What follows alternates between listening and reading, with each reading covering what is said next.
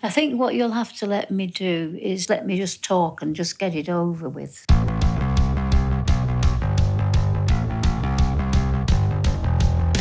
She's a rebel, isn't she? Punk rocker. Provocative. Iconic. She was like our queen. It's hard to imagine that one designer could be all of those things. Vivienne Westwood. Vivienne Westwood.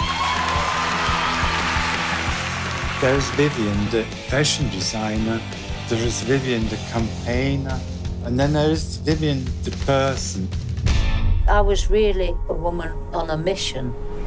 Designer and activist Dame Vivienne Westwood joined Greenpeace today. All my motivation has been because I've been so upset about what can happen to people in the world. That's had something to do with my fashion clothes. Every time I design something, it has to have character. I think some things were not exactly how she had envisaged them.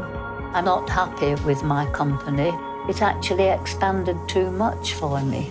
The connections aren't here. So I don't know if I want to show any of this shit. You've got to cut a figure and be prepared for action and engagement.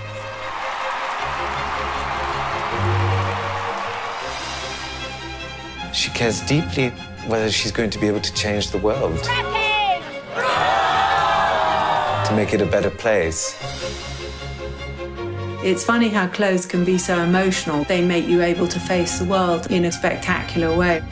You know, Vivienne is a very outspoken person. You need people like this. These are the people who are changing things.